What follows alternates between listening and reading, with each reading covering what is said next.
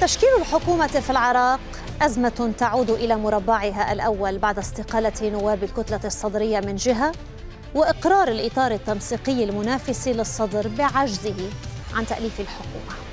الإطار يتهم الصدر بأنه عقد المشهد السياسي أكثر ويربط النجاح في تأليف حكومة جديدة بإنشاء تحالفات واتفاقات مستقبلية تحقق الأغلبية أيضا لتمرير رئيس الجمهورية.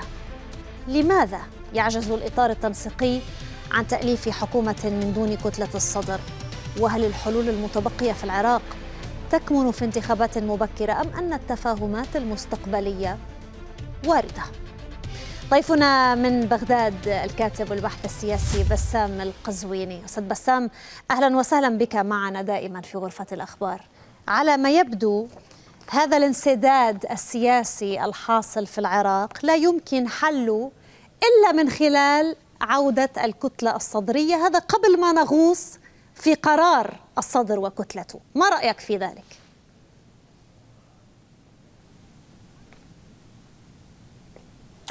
تحية طيبة.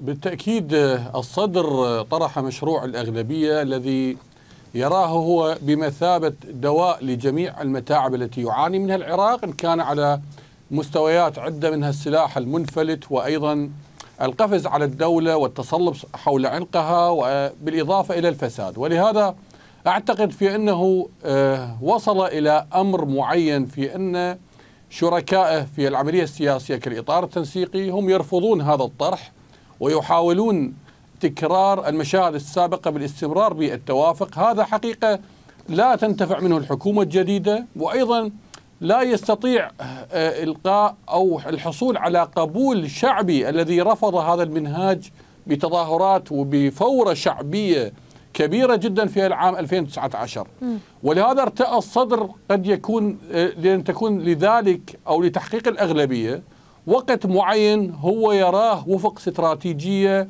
قد تكون معدة في الخارطة الذهنية له ولتياره. مم. لكن هل تشكل التصريحات الأخيرة اللي تابعناها الآن؟ تحديدا تصريحات الإطار أستاذ بسام هل يمكن لها أن تشكل انطلاقة جديدة لعودة هؤلاء؟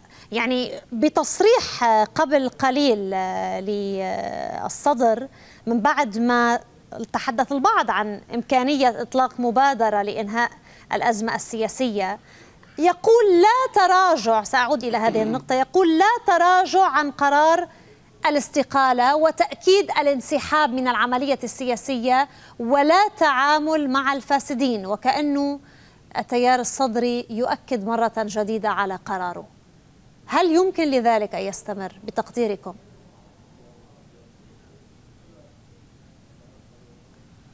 أعتقد أنه في الجنبة القانونية والإدارية الاستقالة ستدخل حيز التنفيذ حين إصدار أوامر ديوانية في مجلس النواب. حتى اللحظة المجلس يمر بعطلة تشريعية. نعم الاستقالات وقع عليها رئيس المجلس لكنها يجب أن تطبع بمتون أخرى تكون موقعة ويطلق عليه أمر ديواني يحمل عدد وتاريخ. وبالتالي عند هذا الأمر تعتبر الكتلة الصدرية مستقيلة. يعني دستوريا ما في استقالة اليوم حتى الآن هذا ما أود أن أفهمه منك أستاذ بسام. يعني حتى الساعة ما في استقالة رسمية.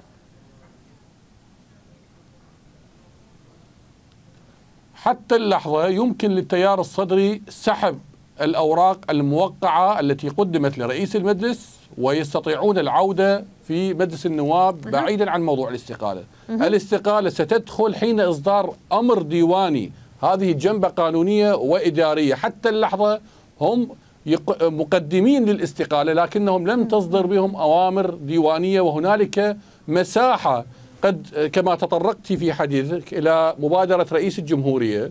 هي قد تحاول العدول حقيقة أو يعني إقناع الصدر بطريقة ما لغرض العدول عن قراره. خاصة وأن هنالك مخاوف من تشكيل حكومة لا يشترك بها الصدر أولا وأيضا هنالك تخوم مشوشة بين الإطار التنسيقي وبين حلفاء الصدر. لكن هل يمكن أن يعود أو تعود الكتلة الصدرية من دون تشكيل حكومة أغلبية كما أرادها مقتضى الصدر منذ البداية؟